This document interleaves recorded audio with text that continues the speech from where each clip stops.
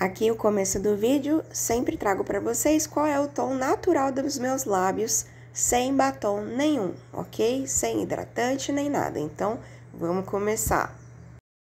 Vamos testar hoje da MAC o Lip Pencil Boldly Bear. O Boldly Bear, gente, ele tem um tomzinho é, muito bonito assim, mais quente, um rosa quente.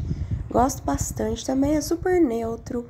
E ó, aí preenche meio lábio pra vocês verem que não dá tanta diferença assim da cor natural da minha boca, tá? Eu gostei muito dessa cor, achei super usável pro dia a dia também.